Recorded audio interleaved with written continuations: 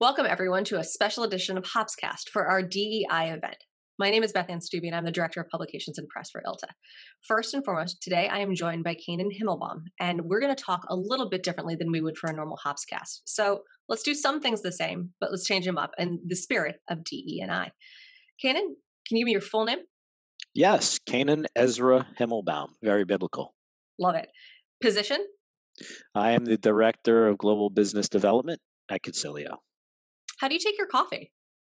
You know, it's interesting you say that, and I think in the spirit of diversity, equity, and inclusion, I do not drink coffee, uh, but I drink iced tea. And so every morning I get into my car and I drive the 20 minutes to a uh, to Dunkin' Donuts, and I order a large iced tea, three Splenda, no lemon. That is a diverse order. I love it. And in that spirit, how did you get involved with DE&I? So I spent a number of years at the beginning of my career as an attorney and an in-house counsel, and uh, the organization that I was a part of was a global organization that really uh, looked into and considered diversity to be the number one hiring principle. And they asked me as the in-house counsel to put together a diversity and inclusion uh, group and a platform, and so I was able to build that out.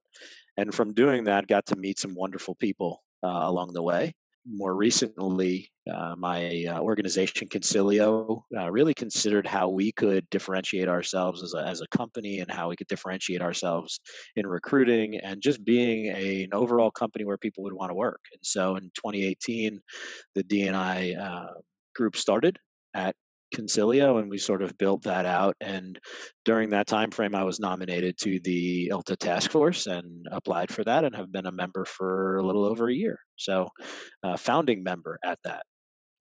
It's a great task force. I love being part of the staff side of it.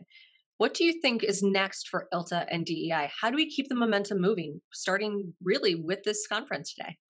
Well, you know what? It's a it's first of all, it's a great group of people. We meet, you know, on a biweekly basis and really talk through some of the leading trends in in sort of DE and I, right? Diversity, equity, and inclusion, right? So it was a D and I task force, and then we added the equity, which is always which was always so interesting to me as to how that came about. But I'll tell you, you know, we spent a lot of time at the early stages of this putting together a survey and adding, you know, having that survey sent out to all of the members, and we received back those responses and really have taken a lot of time to dive deep into the responses.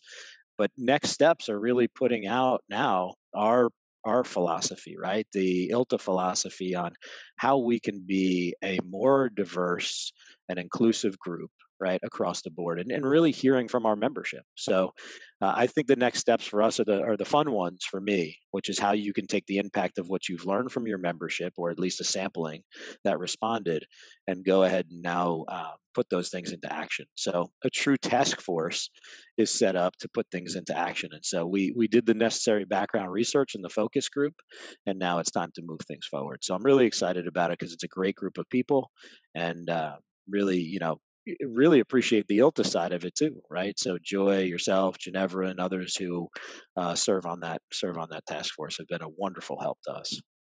Well, Canaan, I am super glad to have grabbed you for a few moments.